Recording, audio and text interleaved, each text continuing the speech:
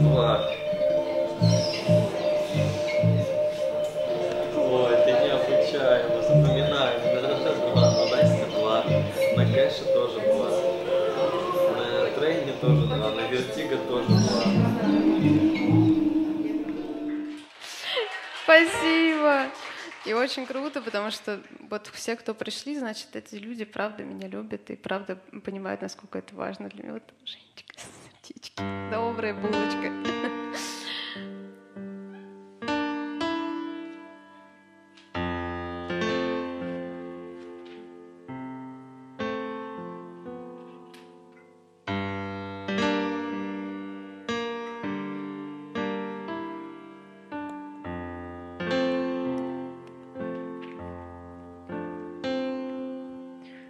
Эта девочка упала в мою жизнь, как падает яблоко в летнем саду. Внезапно и прямо в лоб. Эта девочка на пальцах объясняла мне все свое устройство, сидя в шумных кафе, таская меня за руку по городу, грустно опираясь на поручень в вагоне метро. Эта девочка так задумчиво смотрела и объясняла бесконечно. Я сперва слушал и запоминал, а после начертил карту ее устройства, чтобы не сломать в ней голову, не сгореть и не сгинуть в болотах. Эта девочка меняла свое нутро по настроению. Каждый день я встречался с кем-то другим. Иногда она хлопала ресницами и бесила меня, лопая розовый пузырь жвачки о мои губы. Оставалась вкусом сладкой ваты. По-детски блестела глазами. Иногда я гладил ее, сидящую на мне, и глаза ее пугали меня. На меня смотрела женщина, которая проработала в борделе минимум лет пятьдесят.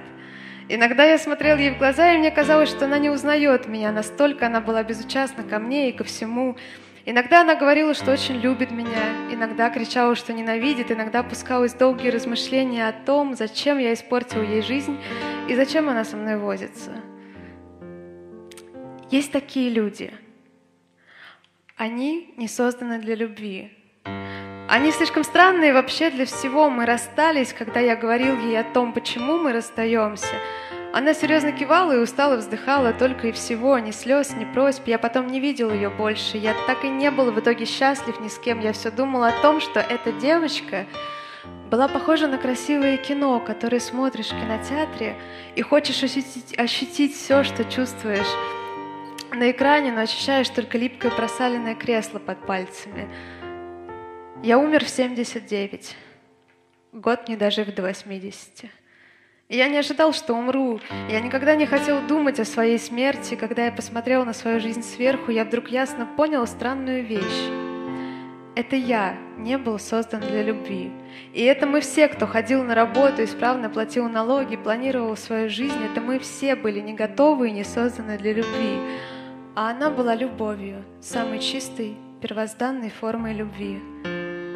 Я видел ее сверху, она так и ходила среди людей, и все они думали, как и я когда-то, что она слишком странная и неподходящая ни к чему. Я крикнул ее тогда, не надеясь, что она услышит меня отсюда. Она подняла голову вверх и улыбнулась мне.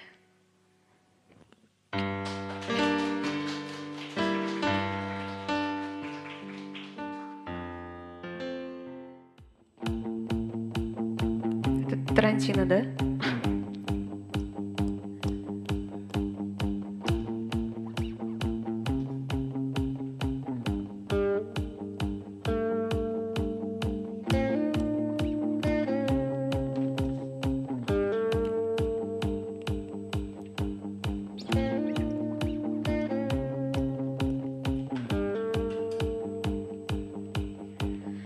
Наши отношения напоминают игру в шахматы где каждый делает ход не по правилам, потом добавляет на доску какие-то новые, свои, тайком принесенные из дома фигурки, и никто уже из нас даже не уверен, что это шахматы.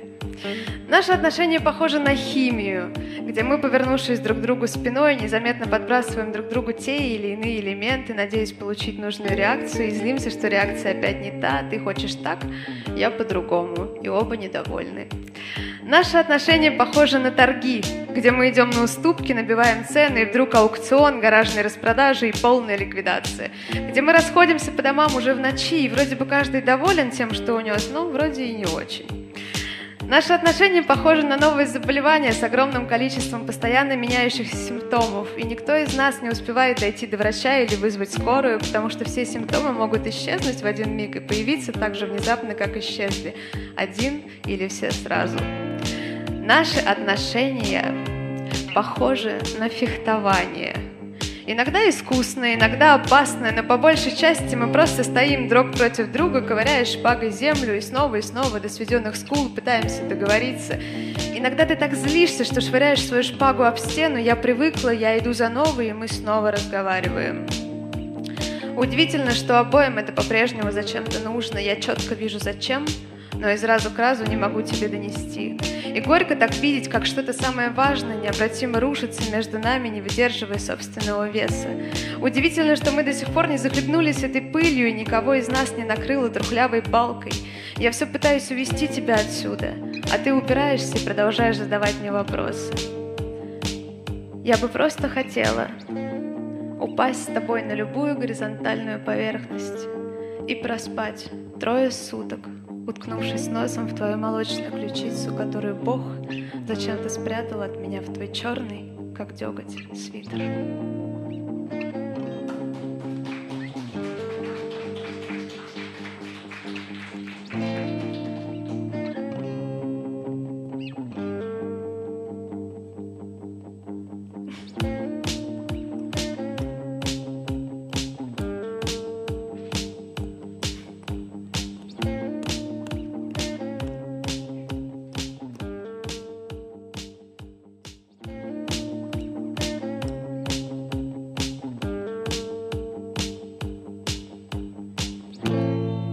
Вчера ты решил убить свою любовь.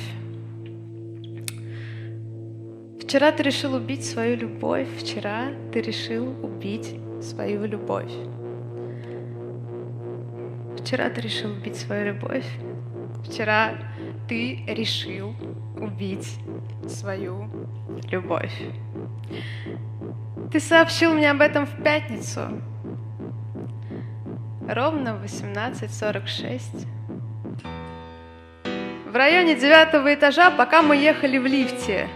Ты аккуратно поправил воротничок выглаженной рубашки, улыбнулся своему безупречному отражению в зеркале и вот так просто выдал «Я решил убить свою любовь».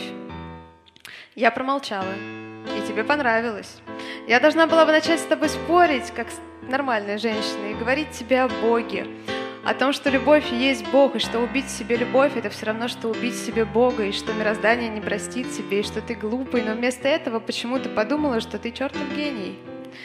Я подумала, а пусть попробует. Я подумала, что всякий человек, если думает, что полюбил, должен сначала попробовать всеми силами убить свою любовь. И если она сдохнет, то это была не любовь. И говорить о ней стыдно и жалко, и писать о ней книги и песни не стоит, и дети от нее не должны родиться. Я подумала, что в мире и так хватает уродства, чтобы всякое чувство внутри себя называть любовью. Я подумала, что если у тебя не получится, то ты сам увидишь, как она торчит из тебя во все стороны, и как ты красив в ней, и тогда ты придешь рассказать мне об этом. Пятый и четвертый этаж понадобились мне для быстрой арифметики – на третьем этаже я набрала в легкий воздух, чтобы сказать тебе, что я душу свою любовь к тебе сегодня ровно как 39 дней. И что все мои успехи за месяц неравной борьбы, огромный ком чувств, который я кое-как запихала в наскоро расколоченный ящик, я сижу на нем и жду, пока оно там задохнется и умрет. А оно все растет и рвется наружу, черт его знает, чем оно там питается и дышит. Но я ничего тебе не сказала. В районе второго этажа я все еще стояла к тебе спиной, и долбанный ящик внутри пошел ходуном, оно рвалось оттуда и шептало «Выпусти!». И пол лифта, заметив все это, решил предательски поплыть из-под ног. Сердце дернулось, кувыркнулось и свалилось в шахту. Я зачем-то посмотрела вверх и подумала, Господи, если ты есть, пожалуйста, сделай так, чтобы он не коснулся меня сейчас, даже случайно, когда мы будем выходить из лифта. И он не коснулся. И мы вышли из лифта. Мы выходим в морозный вечер из дома и идем в кино, каждый со своей любовью. Каждый бьет ее и душит, потому что очень боится любить. Взрослые, глупые, покалеченные люди, которые никак не могут друг с другом поговорить и о чем-нибудь договориться.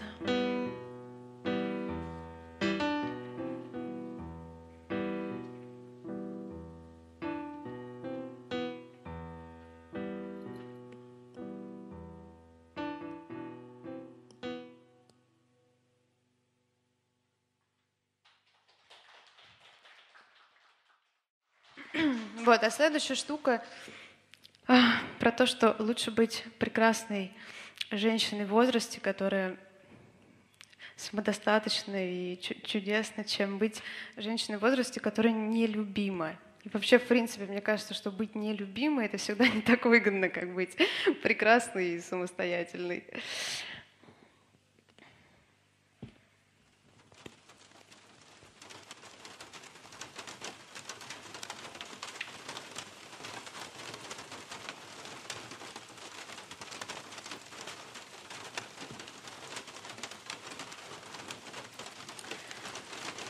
По стеклу барабанил дождь.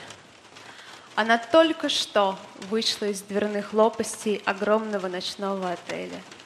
Она села на заднее сиденье, копалась в сумке, искала сигареты и проверяла, все ли она взяла, не забыла ли что. И вдруг у нее на глазах выступили какие-то странные, незнакомые ей штуки.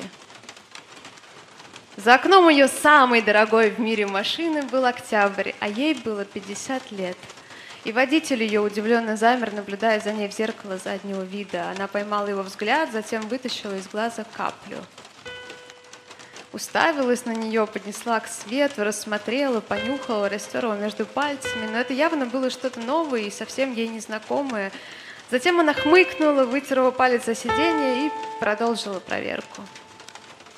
На сумку упала еще одна капля, затем еще одна, и вот уже целые реки из ее глаз бежали в сумку. Сумка переполнилась, выплюнула все содержимое и ковшом опрокинулась вниз. Она поджала ноги, обхватила костлявыми руками острые коленки. Реки текли по колготкам в туфли, сиденье намокло, пошло солью и отяжелело. Вода в машине начала подниматься. Она испугалась, стала дергать ручку двери, а дверь все не поддавалась. В панику впал водитель. Он тоже дергал ручки, жал все кнопки подряд. Машина начала заряжать телефон, сварила кофе, включила приемник. Тихими, нервными скрипками заиграл Вагнер. Вода дошла до приемника, приемник заискрил, врубил громкость на максимум и потерял управление. Вагнер захватил всю машину, и скрипки пилили воздух на куски, а вода все поднималась и дошла почти до самой крыши. Водитель захлебнулся и болтался теперь на ремне в передней части машины, распухший и бессмысленный, как лягушонок. Она боролась и кричала. Она, силой выгнув тело, уткнулась в подушку крыши и по миллиграмму собирала оставшийся воздух, испуганно вращая глазами. В эту секунду в дверях отеля возник молодой человек – он крепче запахнул пальто, поежился и закурил. Он уронил взгляд на стекла, стоящей перед ним машины, их глаза встретились. Машина была полна до краев. И скрипки резали все живое, что было в машине. Она била кулаками в стекло, бросалась на стекло грудью, тратила последний живущий в легких кислород и кричала, захлебываясь в своих слезах, срывая голос на сип так громко и так отчаянно, как никогда в жизни. Что конкретно она кричала, он не слышал. Он как-то криво улыбнулся, снова поежился, помахал ей рукой на прощание и, бросив быстрый взгляд куда-то в сторону, выкинув недокуренную сигарету, скрылся в дверях отеля.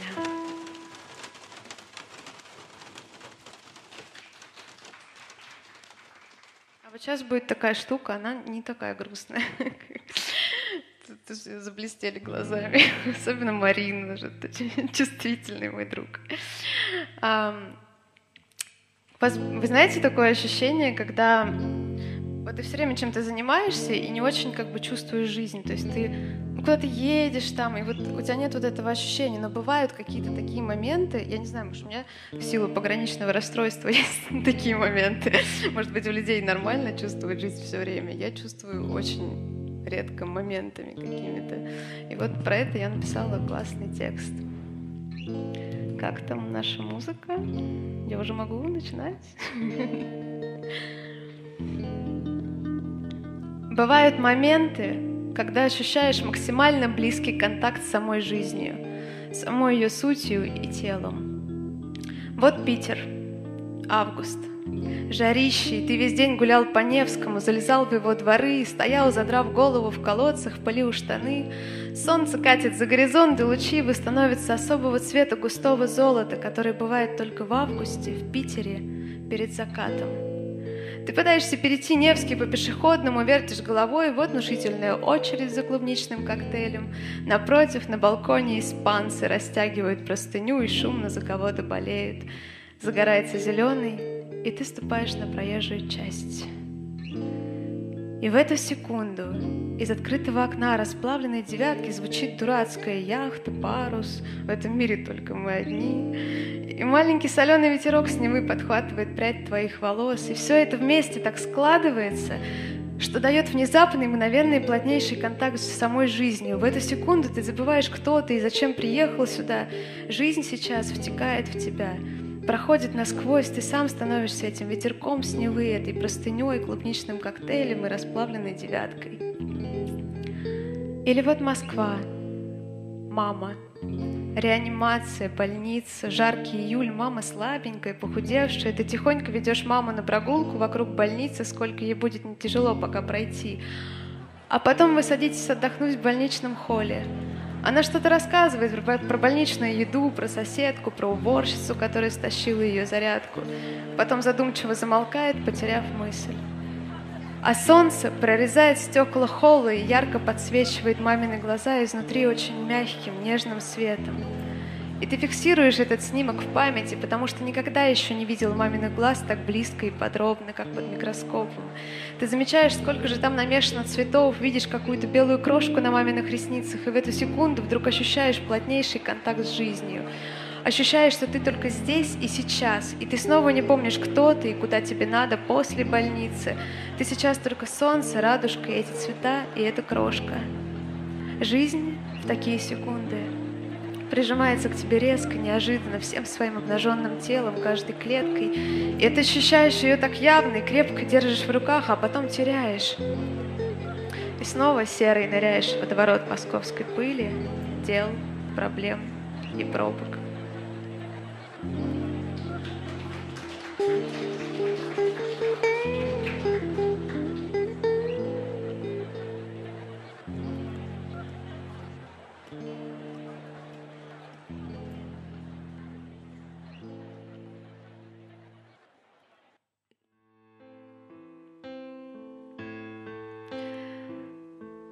Она стояла посреди бескрайнего белого поля, стояла и пристально смотрела ему вслед, а она впивалась в него взглядом до боли, до серых мушек в глазах, а он уходил. Его спина таяла, размывалась и становилась кляксой, мутным акварельным пятном. Следом за его спиной потерял фокус пушистый январский снег — Пятнами поплыли деревья и редкие птицы, золотистый каскад облаков смешался и тек за горизонт горячей малиновой кашей. Солнце потускнело и скрылось, нежно лизнув сетчатку ее глаза в последний раз. И все вокруг погрузилось во тьму. Такую густую и осязаемую, в нее можно было вляпаться и смахнуть с руки, ее можно было стереть с лица тряпкой, такой густой была эта тьма. Она на ощупь пошла домой, то и дело натыкаясь в этой густоте на людей, собак и предметы, извинялась робко, дрожала внутри. Утром она встала на работу. Нащупала в темноте чайник, чиркнула спичкой и ощупью зажгла газ. Она наскоро макнула пальцы в ледяную воду и протерла слипшиеся глаза. Она натянула свитер, взяла какую-то палку, оставшуюся в коридоре после ремонта, и пошла на работу. Настукивая палкой какую-то новую музыку, она стучала палкой по перилам, ступеням и тротуарам, по ребрам заборов и глухим трубам. И музыка эта била по перепонкам и звучала непривычно, разрывающе громко для только что ослепшей. И эта новая музыка пугала прохожих. Они видели красивую, милую, улыбчивую, здоровую женщину. Но было в ней что-то настораживающее, непонятно отталкивающее. По улице по улице шла женщина, которая больше никогда не хотела видеть других людей.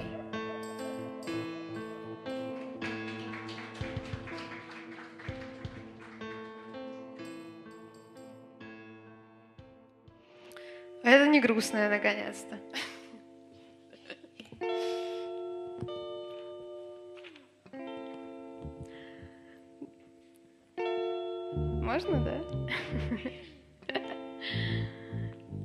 Куда бы ты ни шла, сердце мое, неуклюжим щенком спотыкаясь, бежит за тобой.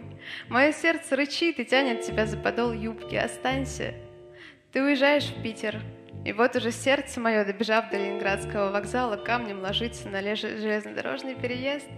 Состав стрелой набирает скорость, и мельчит сердце мое в крошку. Машинист замечает, что на что-то наехали, а ты надеваешь наушники и утыкаешься в айфон, но почему-то вдруг улыбаешься. Ты идешь вдоль реки и по-детски свешиваешься к воде через чугунную ограду, а над твоей головой кричат чайки, и вот сердце мое среди них кричит громче всех — и ты вдруг поднимаешь голову. Или вот вечер, и ты почему-то плачешь, и сердце мое забирается рядом, задумчиво уронив голову на колени, теребя кисточку диванной подушки, и сердце мое лижет твои руки, и вдруг ты перестаешь плакать, и внутри у тебя все становится теплым и мягким. У тебя день рождения, и сердце мое утопает в твоих цветах, впитывается в них, а ты потом удивляешься, как дивно они пахнут, и что они простояли почти целый месяц. Так пахнет мое сердце. Или вот ноябрь. Твои дети дубасят палкой по водосточным трубам, и сердце мое с грохотом летит по водосточной трубе вниз, и алмазной тихой пылью замирает у твоих ног, а ты улыбаешься. Улыбаешься этой россыпи, улыбаешься цветам, дождю и железным дорогам. Всякий раз, когда что-то заставляет тебя улыбнуться, знай, что это мое сердце. Знай, что это медовый месяц наших душ.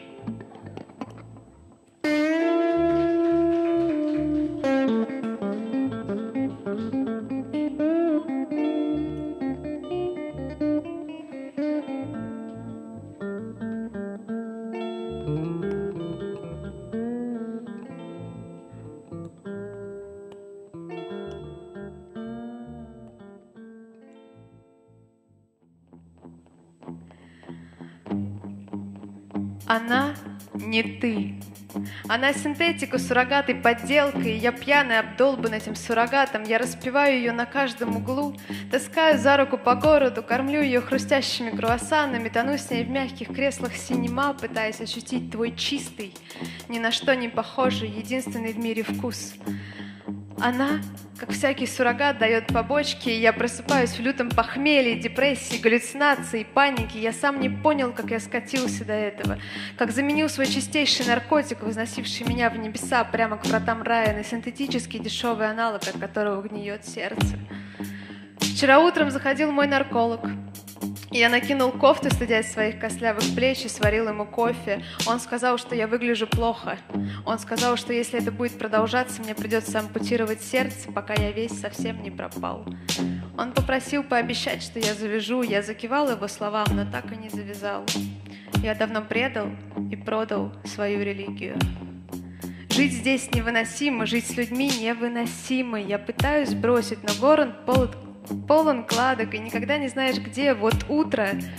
Я подтягиваю свой кофе, шершу не весь откуда взявшейся газеты на французском языке, и вдруг кто-то напротив улыбается мне твоими глазами. Или вот вечер, и я приду домой по вымытым дождем улицам, и вдруг кто-то спрашивает у меня зажигалку и берет ее из моих рук твоими руками, и я снова падаю — и просыпаюсь в лютом похмелье, как оборотень, в ужасе и в крови, потому почти не помня того, что вытворял ночью, а рядом лежит и сонно улыбается очередной, еле дышащий, доживающий последние минуты суррогат, слабый раствор тебя. Я бы бросил все и ушел совсем. Но это бесконечная красная нить, бегущая между твоим и моим сердцем телеграфными проводами. И даже за тысячу световых лет — будучи вне пределов, в абсолютной тьме, за точкой невозврата, я почувствую, как на том конце, где-то на планете Земля, на мокром от сентябрьского дождя проводе пружинит птица. Ты смотришь на нее своими водянистыми, аквамариновыми глазами. И, подумав о чем-то с минуту, вздохнув, уходишь в дом, лениво стаскивая с садового кресла свой оцаревший после грозы свитер.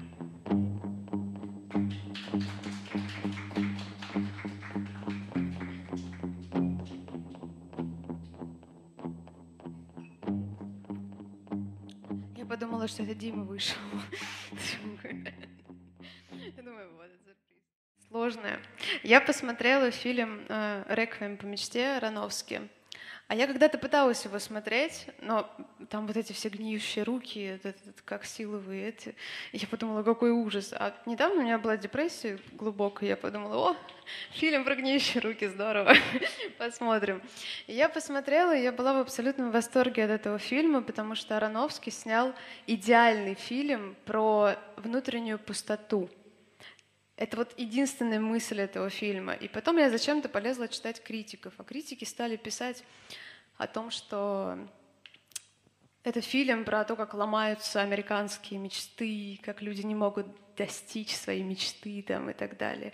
А на самом деле единственный смысл этого фильма в том, что... Это, ну, вы помните, да, этот фильм все «Реквием по мечте», да? Да? Но это единственная, единственная суть этого фильма в том, что эти люди пустые внутри. И из-за этого это все происходит. И я села и написала свой рассказ про внутреннюю пустоту.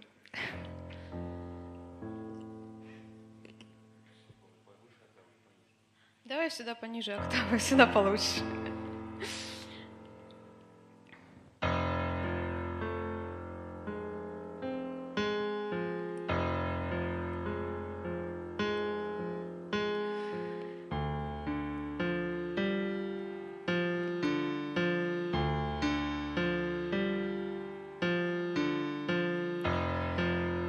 И вот она бьет его с размаху по лицу. И сразу ей стыдно, не выдержала, сорвалась, а он берет ее за горло и прикладывает ломкими позвонками к стене, и так они замирают. И челюсти у обоих сжаты и смотрят друг, друг, друг на друга так, что кроме этого взгляда ничего не существует сейчас на земле. И так невыносимо и вместе, и врозь, а внутри у обоих любовь. Больная, горячая воспаленная, и оба знают об этом, и оба не знают другой любви. В детстве отец водил ее на собачьи бега. Собаки бежали по кругу за кроликом. Отцу нравилось, ей тоже. Когда бежишь за кроликом, когда на кролике сфокусирована вся твоя жизнь, не замечаешь пустоты внутри.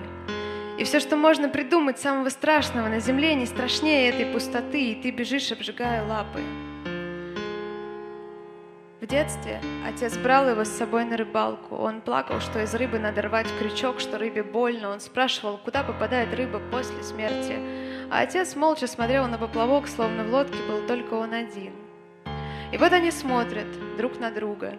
И оба понимают, что падали в то, с чем боролись годами. Сначала ведь говорили, договаривались, старались, а теперь бросили и сделать уже ничего не могут. Просто летят по инерции прямиком в обрыв.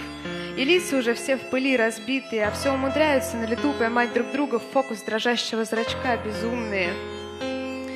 Возле самого края они на секунду замирают, а руки совсем мокрые, скользят, и они глазами, и она глазами говорит ему, это же ты меня убил. А он отвечает, это ты. И оба правы ведь. Он не выдерживает и соскальзывает первым. Она могла бы, может быть, еще выбраться, подтянуться, но над обрывом нависает и смотрит ей в глаза пустота. И она, не думая, струной ласточкой, вытянув тело, летит следом за ним. Она догоняет его в полете, обивает руками за шею. И последнее, что чувствуют они, это запах друг друга. Самый лучший из запахов. Запах, который больше смерти, запах летящего впереди кролика, запах отсутствия пустоты. Запах, в котором перестает быть страшно. Спустя две секунды они, улеж... они уже лежат на дне бездонного ущелья так глубоко, что их не видно. И никто не знает, и никто никогда не узнает, что такое эта всепоглощающая внутренняя пустота, страшнее которой нет ничего на свете. В понедельник они оба придут на работу и будут для всех по-прежнему улыбающимися, нормальными людьми.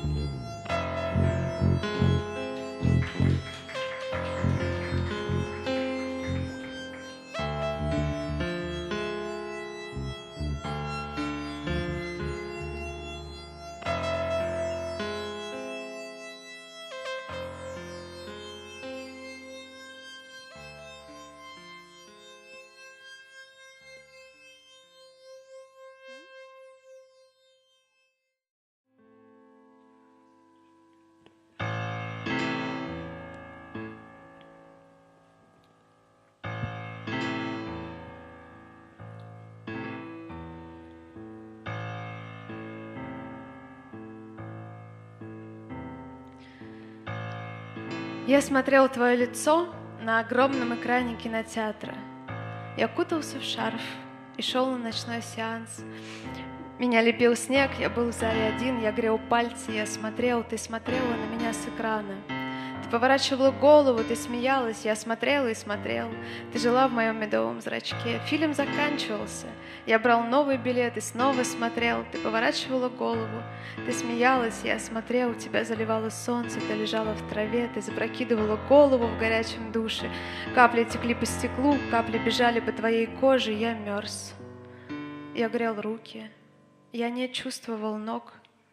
Тебя бил какой-то парень, я зверел, ты плакал, я верил тебе, я умирал от нежности и беспомощности, я был в зале один. Твое солнце сжигало меня внутри, я выучил твою роль и автоматом повторял твои слова пересохшими губами. Я пытался поймать, как ты дышишь, пока произносишь текст, я пытался дышать вместе с тобой. Я ходил в кино 28 ночей подряд. Потом фильм убрали из проката. На 29-й день я по привычке вышел из дома, шел снег, а я не знал, куда мне идти. Я остался стоять на перекрестке до утра. Что стало со мной потом?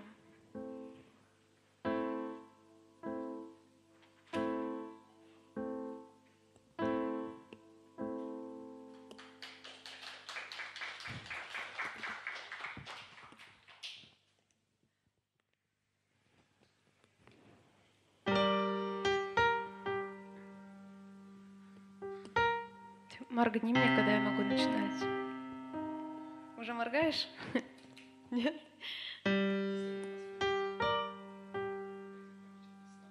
Весна, да. Я ему сказала, играй весну. И он сразу взял и стал играть весну. Человек так делает. Моргнул незаметно, да.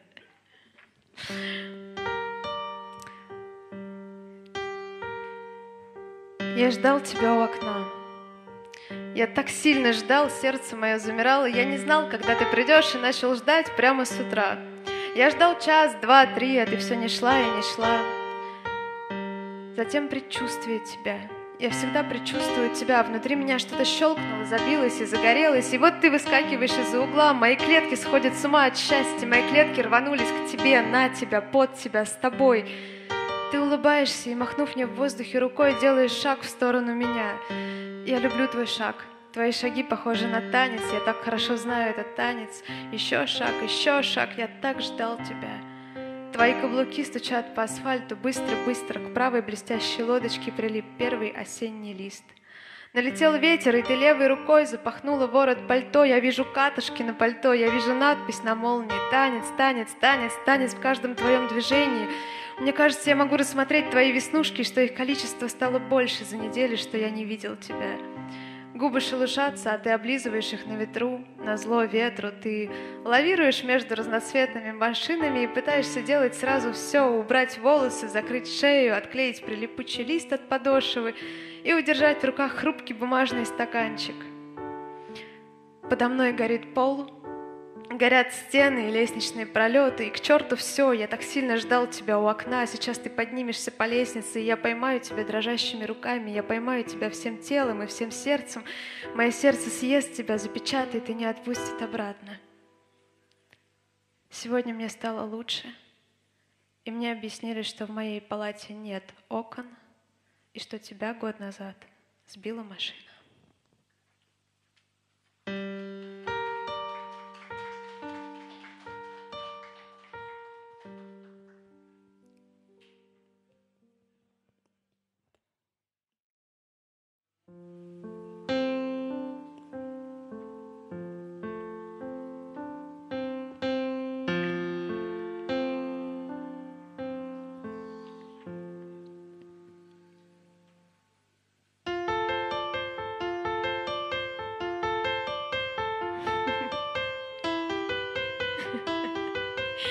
Успокаивает одно твое присутствие.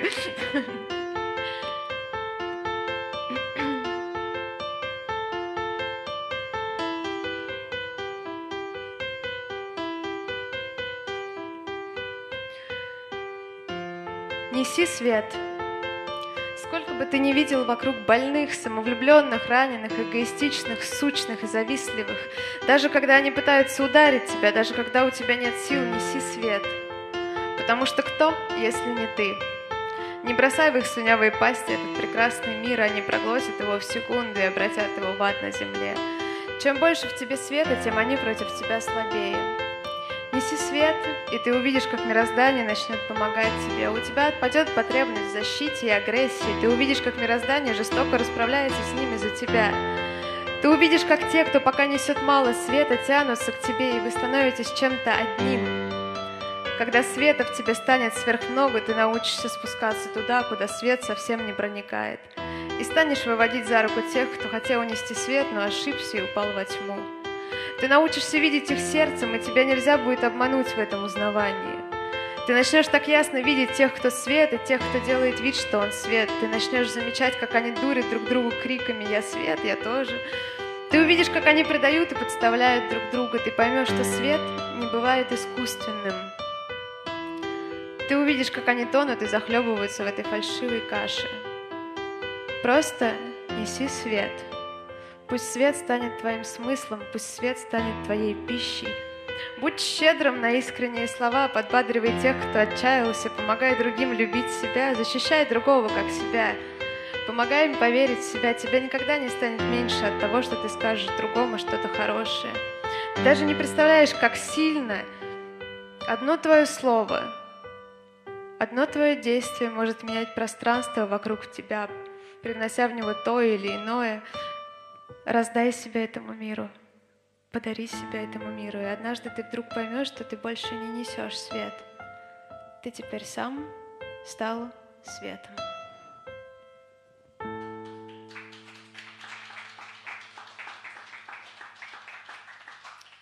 Вот, это такая вот программа, которую мы собрали за фактически один день. И я вам безумно благодарна, что вы пришли и все это слушали. И, и я предлагаю нам всем пойти и продолжить на траве.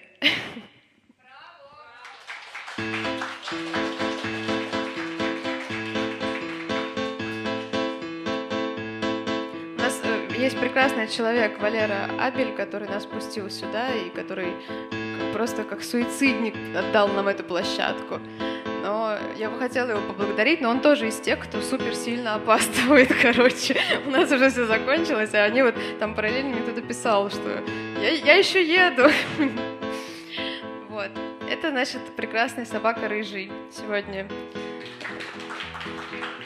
спасал мою жизнь вчера и сегодня. Потому что э, я вам скажу, что 10 дней назад мне капитально разбили сердце. И я подумала, что у меня есть перспектива либо в свой день рождения сидеть дома и плакать, либо сделать концерт, собрать группу и сделать концерт. И вот я собрала группу. Но ты, ты, как, как, ты как группа. Ты клавишник, барабанщик и, и да, еще диджей там и, и, и все, короче.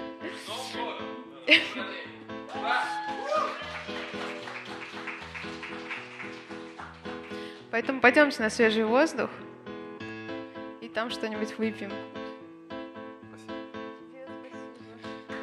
Пошли!